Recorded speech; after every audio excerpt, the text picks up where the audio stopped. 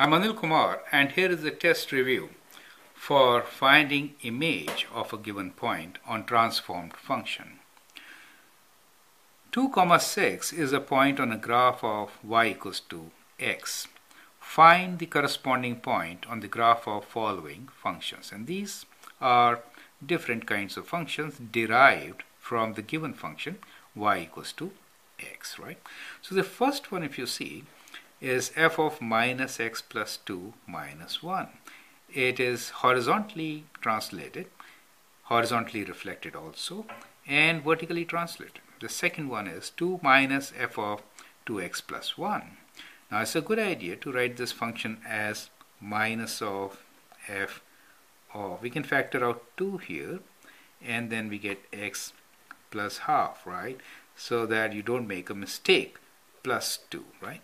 So you should actually factor and write down. And then we have an inverse function here. So I'd like you to pause the video and then write down how coordinates of this point 2, 6 will change and what will be the new coordinates of the image point on these functions, right? Here is my solution.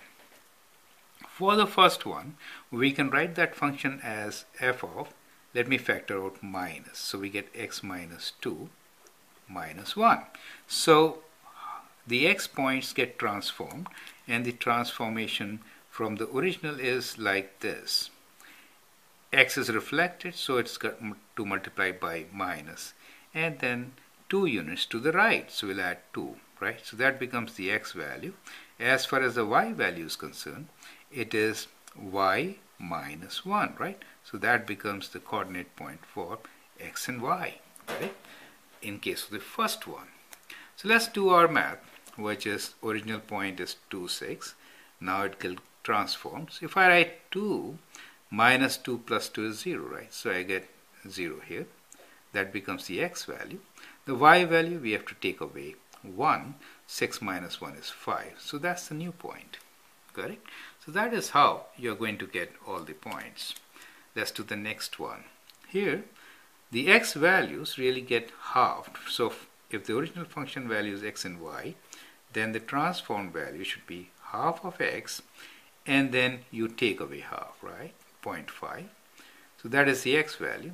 As far as the y value is concerned, it gets reflected, so it is minus of y and then plus 2, right? So that becomes the y value.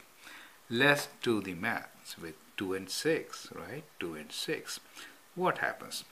For the x, half of 2 is 1 and 1 minus half is half. So get half. As far as y point is concerned, we have to do negative of 6, which is negative 6, plus 2 will give us negative 4. So that is the new image point, right?